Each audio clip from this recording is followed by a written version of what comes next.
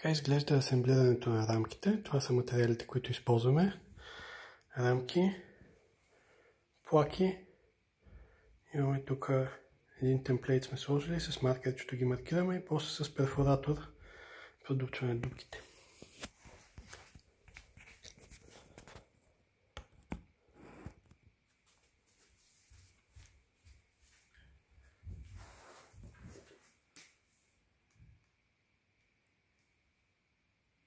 Маркираме си дупките.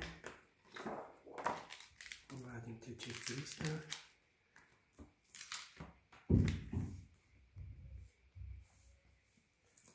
Взимаме си перфораторчето.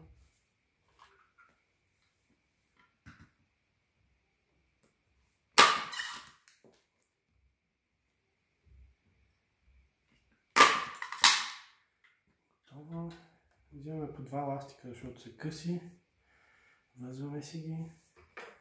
Слагаме на рамката. И можем да сложим вече пака.